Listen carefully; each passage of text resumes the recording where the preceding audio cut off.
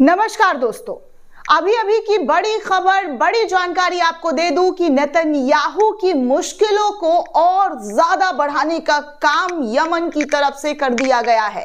जी हाँ दोस्तों, यमन ने अमेरिका के सबसे बड़े एयरक्राफ्ट को उड़ा दिया है। इसकी जानकारी खुद यमन की तरफ़ से दी गई है। अमेरिका ने भी इसकी पुष्टि कर डाली है कि यमन के लड़ाकों ने अमेरिका का एयरक्राफ्ट नष्ट कर दिया है। नेतन्याहू इस वक्त पूरी तरीके से चौतरफा नहीं दोस्तों, बल्कि सात मोर्चे पर जो है वो घिरते हुए नज़र आ रहे हैं।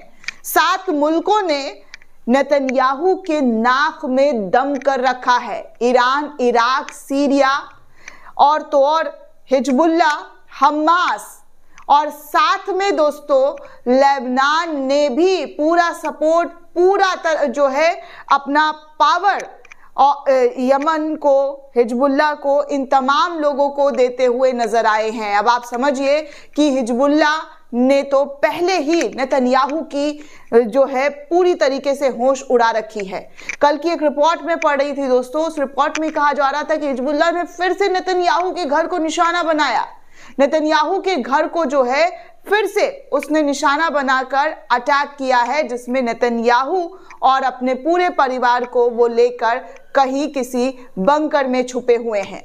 शादी तक बेटे की कैंसिल हो गई है दोस्तों। इसी नवंबर के महीने में नेतन्याहू के बेटे की शादी होने वाली थी। उस शादी को भी नेतन्याहू ने कैंसिल कर दिया है, क्योंकि हिजबुल्ला हर तरफ़ से रॉकेट्स, ड्रोन, मिसाइल्स जो है बरसाता हुआ नज़र आ रहा है।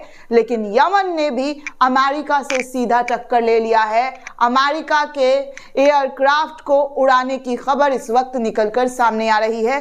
तमाम वो बड़ी जानकारी आपको दे दूँ, इस वक्त किधर से और कहाँ से निकलकर सामने आ रही है। देखिए, स्प्रिंटर फैमिली की तरफ़ से वीडियो शेयर करते हुए जानकारी साझा की गई है कि Israel forces fire flares into the sky near the Lebanon Israeli border जी हाँ इसराइल के अंदर जो है, कैसे जो है स्काई में सिर्फ़ और सिर्फ़ जो है दिखाई क्या दे रहा है?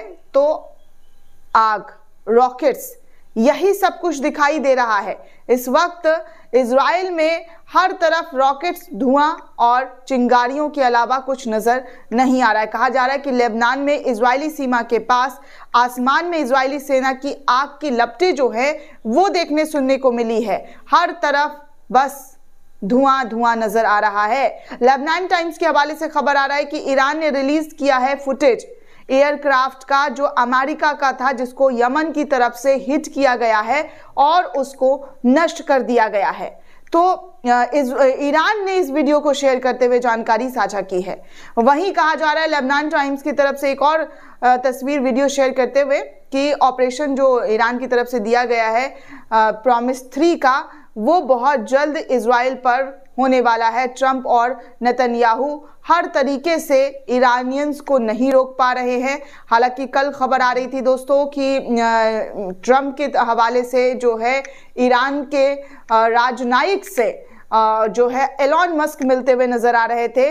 लेकिन अब ये युद्ध हालाँकि पूरी तरीके से और ज़्यादा बढ़ता हुआ नज़र आ रहा है। शहरों का हाल देख सकते हैं। तलबीब से लेकर तमाम शहर पर इस वक्त इसराइल के खतरा मंडरा रहा है। अब देखिए दोस्तों, लेबनान टाइम्स ने एक और वीडियो शेयर किया लिखा है कि फ्रेंच पुलिस जो है, वो इसराइल के नौजवानों को इसराइल के जो सैनिक है, उसको फ्लैग जो लेकर टहल रहे थे, उसको उतारने की बात कर रहे हैं। उनको वार्निंग दे रहे हैं कि आप यहाँ पर फ्लैग लेकर इसराइल का नहीं टहल सकते हैं। आगे लेबनान टाइम्स ने और तस्वीरें शेयर की है कि हमास ने किस तरीके से जो है इसराइल के मिलिट्री व्हीकल्स को बैतलिया में जो है नष्ट करते हुए नज़र आए, जिसकी वीडियो भी मैं आपको नहीं दिखा सकती हूँ कि ऐसी तस्वीर है। कॉपीराइट का इशू है दोस्तों। लेकिन यहाँ लगातार जो है इसराइल की मुश्किल मुश्किल जो है वो बढ़ती हुई नज़र आ रही है। रशिया ने, जी हाँ दोस्तों खबर आ रही है कि रशिया ने भी liberal child fair lifestyle propaganda को जो है बैन कर दिया है। रशिया की तरफ़ से भी बड़े बड़े स्टेप जो है लिए जा रहे हैं। तो ये हाल इस वक्त रशिया की तरफ़ से भी निकलकर सामने आ रहा है। साथ में आपको नॉर्थ कोरिया के बारे में भी बताया था कि उसने सुसाइडल ड्रोन्स जो है वो बनाने की अनुमति अपने देश के लोगों को दे दी है। तो आप सोचिए कि क्या और किस हाल में जो है इसराइल की मुसीबत और यूक्रेन की मुसीबत बढ़ाने के लिए Russia, Iran, Iraq Hezbollah Yemen इन तमाम लोगों की तरफ़ से जो कोशिश की जा रही है, वो कामयाबी में तब्दील हो रही है। आगे ईरान को लेकर बार बार खबर आ रही है कि ईरान भी बहुत जल्द इसराइल पर अटैक करने वाला है। दोस्तों, इस पूरे रिपोर्ट को लेकर आप क्या सोचते हैं? आपकी क्या प्रतिक्रिया हमें कमेंट करके ज़रूर बताइएगा। साथ ही साथ चैनल को ज़्यादा से ज़्यादा लाइक, शेयर और सब्सक्राइब करना बिल्कुल भी ना भूलें। धन्यवाद दोस्तों।